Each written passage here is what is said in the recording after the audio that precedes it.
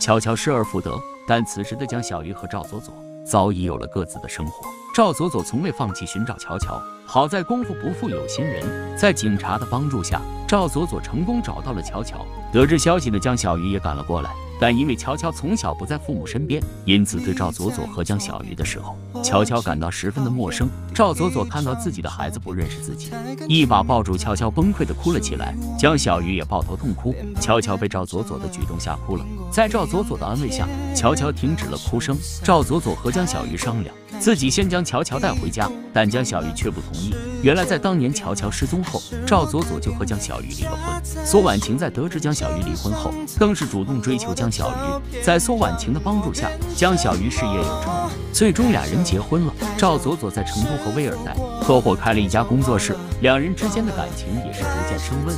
如今江小鱼和赵佐佐都有了各自的生活，赵佐佐也不想和江小鱼再有任何瓜葛，但江小鱼始终都是巧巧的爸爸。寻回儿子的江小鱼也想陪伴乔乔，却遭到了赵佐佐的拒绝。无奈之下，江小鱼只好同意。赵佐佐将乔乔带回了家。